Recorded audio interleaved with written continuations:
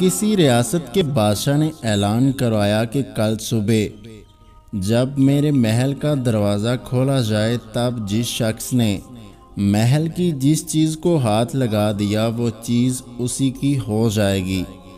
ये ऐलान सुनकर सब लोग आपस में बातें करने लगे। कुछ ने कहा, सोने को हाथ लगाना चाहिए।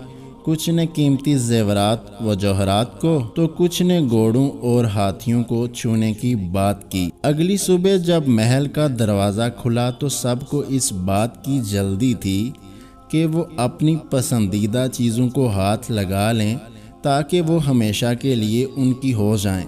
बादशाह अपनी जगह बैठा सब देख रहा था कि इतने में भीड़ में एक शख्स चलता हुआ बादशाह की तरफ़ बढ़ा और बादशाह पर हाथ रख दिया। बादशाह पर हाथ रखना था कि बादशाह समेत सारी बादशाही भी उसी की हो गई और लोग छोटी छोटी चीज़ों को मुंतहिब करते रह गए। दोस्तों, जिस तरह बादशाह ने लोगों को मौका दिया और लोगों ने इंतहाब में गलतियाँ की, गौर करें, बिल्कुल इसी तरह इस सारी दुनिया की बादशाही का मालिक भी हमें हर रोज़ मौका देता है कि हम उसकी बड़ी दुनिया में से कुछ भी ख्वाहिश करें, कुछ भी चुन लें।